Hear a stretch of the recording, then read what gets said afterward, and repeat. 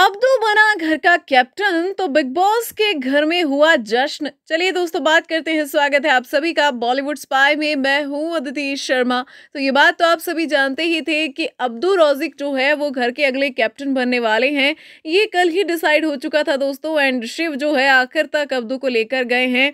और यहाँ पर जैसे ही अब्दू कैप्टन बने हैं दोस्तों, बिग बॉस ने पहले तो अब्दू को मुबारकबाद दी है और उसके बाद घर वालों के लिए अब्दू का गाना छोटा भाईजान बजाया है, जहाँ पर सभी के सभी घर वाले जो है, वो अब्दू के साथ कैप्टन रूम में चले जाते हैं और अब्दू बेड पर डांस करता है और सभी घर वाले अब्दू के इर्द गिर्द नाचते हुए दिखाई देते हैं।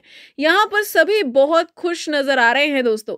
लेकिन यहाँ पर टीना और शालीन साइड में बैठे हुए हैं एंड वो ज़्यादा ऐसा लग रहा है कि दिल से उन्हें कोई खुशी नहीं है।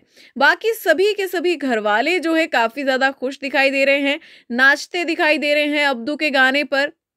यहाँ प्रियंका और शिव की खुशी तो सातवें आसमान पर है। तो दोस्तों, क्या कुछ है आपको इस पर कहना? कमेंट्स में ज़रूर बताइए।